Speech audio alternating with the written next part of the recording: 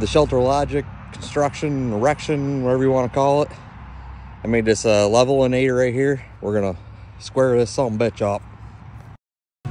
Well, this is what we got so far. Well, let me tell you what. It's a pain rate, and you know what.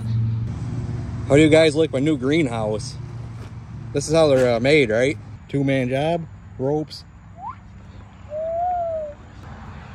Rip it right over the top. You're done with it. All the bottom tubes are in.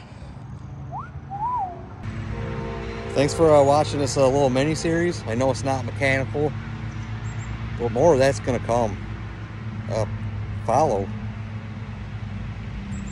and watch me have some fun.